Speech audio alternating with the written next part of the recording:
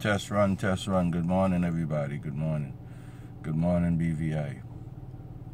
Yesterday, Thursday, was a very important day in the House of Assembly in the British Virgin Islands. I don't know how many of you out there were able to listen to the debate or the conversation that went on in the House of Assembly. But it troubled me because I listened. I listened all day listening and trying to understand and make sense out of what was being said in the House of Assembly. I listened to my great premier. I listened to the deputy premier. And I listened to Julian Fraser. All debate an issue. An issue that is very important to the people of this territory going forward. One of the most important debates right now. It parallels that of the cruise ship debate a few years ago, that of Wickhams Cay development a few years before that, and even back in the 40s and 50s when the BVI was contemplating trying to get the legislature back, trying to get a constitution back in place, trying to have a governor station in the BVI versus having to send the representatives them to Antigua for representation. These are all important time in our history, ladies and gentlemen. I know going forward, this government is selling an idea, an ideology that because of what took place last year during those storms, and they were bad storms, they were terrible storms. They put this country backwards, yes. It put us in a situation where we really is on the edge now. We have to figure out what to do. And the only way forward is to try to obtain some money so the government from the government side can start to rebuild, can put some of the infrastructure back in place. Those are all things that are necessary. We know, I know that. I ain't, nobody is is uh, naive to those facts. I think the biggest problem we're having right now going forward is the process and the method in which you're trying to obtain funds and the information that's being shared and how it's being shared and why is it important that we all understand the end result. When we borrow, it's just like you going to the bank or going to borrow money from somebody. There's consequences.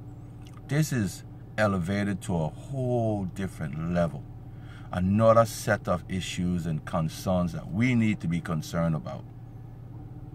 So, ladies and gentlemen, it ain't easy. So, today, this morning, I woke up and I tell you, I had to say something.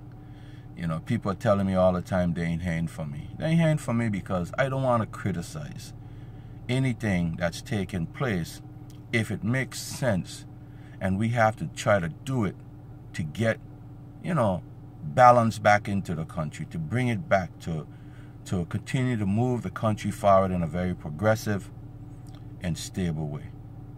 But it troubled me, ladies and gentlemen, it troubled me to see my premier, Dr. Orlando Smith, running this country and running the government like a mob style government.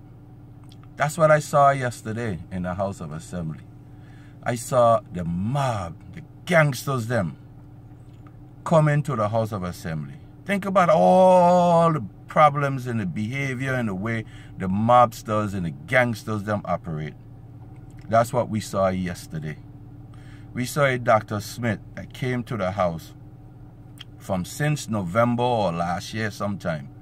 He was negotiating on behalf of the people of the territory without his team, without the people who can advise him properly he had some advisors, you know. But it ain't it wasn't you nor I. It was others who want good things. They want the BVI to progress, but at the same time, there's also other things that are blended in that they're gonna benefit from. And it's really about them. It ain't about us, the people.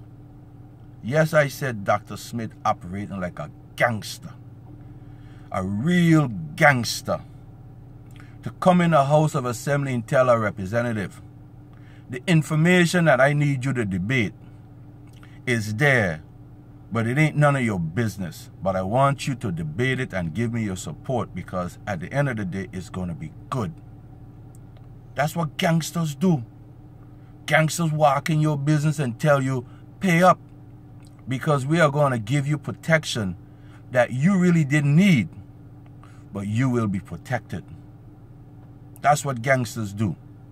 Yes, Dr. Smith office, Dr. Smith government is running like gangsters.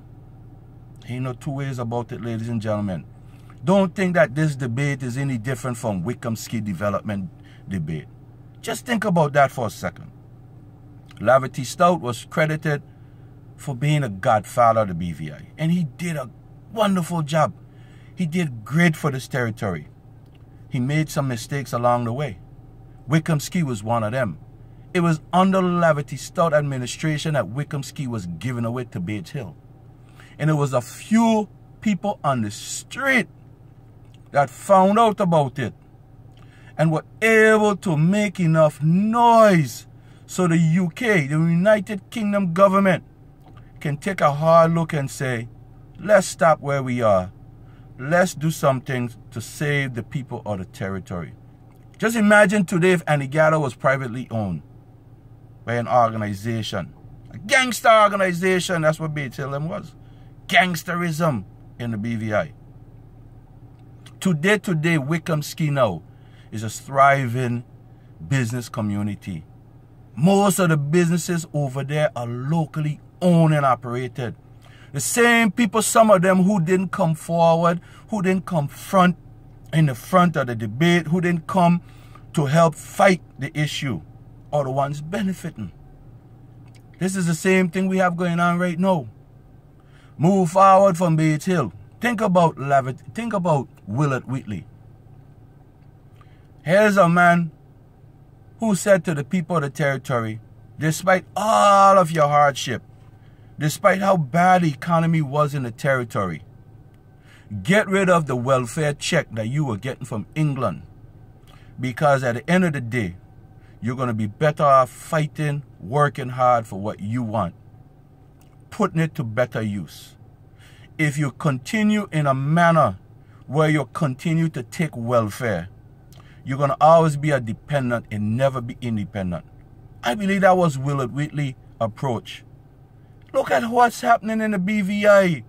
All of those men and women who put forward those type of ideas and, and, and were able to accomplish some of those things.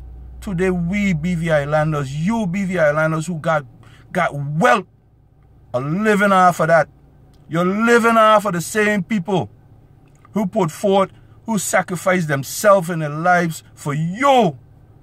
Some of you that probably didn't even know we're going to raise up to be where you are today. We have the same debate going on right now. Ladies and gentlemen, this thing ain't no joke. This is serious. Yes, we need money. And that's the bottom line. But it's how you get it and what it comes with will determine what happens to this BVI in the next 10 to 15 to 20 years. Think about you who got and you who want to preserve for your younger ones them. Think about that. If you don't put safeguards in place, they ain't gonna own nothing. They're not gonna have nothing. So this ain't no different. Don't support nothing that this premier is pushing forward when he has secret deals, when he has secret conversation, and he's supposed to come to the House of Assembly. The House of Assembly is the only refuge that the people them have it's the only way the people them know what's going on. And here he is coming to the house, asking the legislators them to debate something that they have no knowledge of. And all of them talking about in committee stage. No, foolishness. This is the same campaign ploy they ran on you guys in 2011, in 2007. The same approach. The big billboards, the conversation, the blanking out of media, they calling you stupid and dumb. Oh, you're not a supporter. You're building walls and not bridges.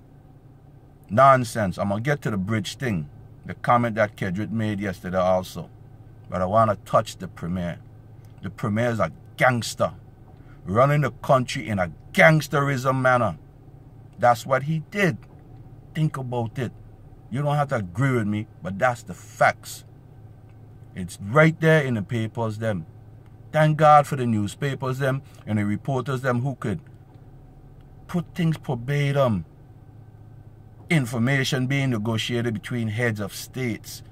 So the people them in the back and the bottom are not allowed to examine the information, but yet you're asking them to approve something that they don't know anything about? Nonsense. More to come on the Premier and his government, the NDP government, and the manner in which they're running the country. I'm going to touch a little bit about Kedrick Pickering. Dr. Pickering, I heard you. I heard you in your little talk. I heard you when you said between sleep and awake. You embarrass yourself. If you had stayed awake the entire movie that you went to watch, you would have understand that the bridge the bridge that the guy was speaking about was the fact that they had technology and knowledge and information that could help societies outside of their own dwelling. The knowledge and information that they were hiding and deceiving. That's what the movie was about. It was about here's a society, a black society in Africa. Remember, it wasn't, it was, Africa wasn't just that society, you know. It was big. But they were privileged to have advanced knowledge of what was happening in the world. They had technology that nobody else had. The world was developed. You had all the other places in the world. You had China, Hong Kong, you had England, you had America. But they had enough to share with their brothers and sisters. And that's what the other guy came back and said. You have what we need to make a change in the world. Black people, he said, around the world can use this technology to advance themselves. And this guy, the king, the new king, the one that went to speak to the United Nations, the king, the bridge he spoke about, he was speaking about himself.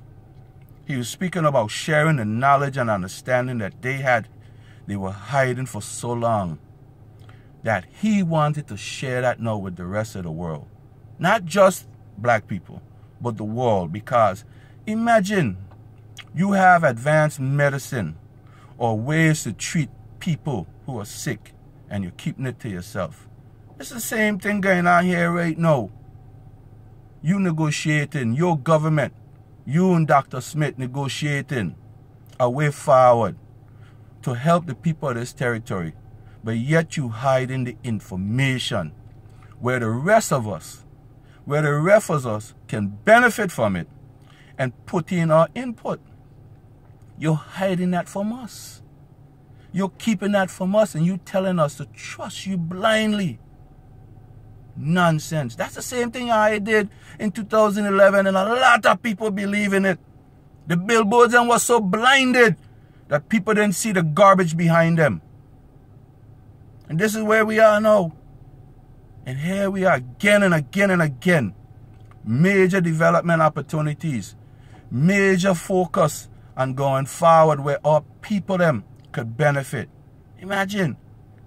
And you're all up and down the radio and telling people that you're the ones who put things in place and presented this to the United Kingdom. You put things in place to kill yourself and your own people? To fix a road, two point something miles of road? You borrowing money, 60 something million dollars and got paid back 90 million? Wow. You borrowing money to pay consultant, to hire other consultant, to consult with consultants? Come on. Something ain't right. So Dr. Pickering, you need to watch the movie again. This time stay awake. Because the movie is powerful and it mirrors everything that's going on here in this country and throughout the world in the black world in the black world. It mirrors it. Go pay attention. Maybe my analogy is wrong but that's how i saw it. That bridge was about sharing knowledge and information bringing other black people into the norm educating them helping them to progress teaching them the things that they didn't already know. These guys had it They had the knowledge and they weren't sharing it. That's what it was about. More to come, ladies and gentlemen. I feel compelled to say something, and something needs to be said, and I did it. And I'm going to do more. More to come.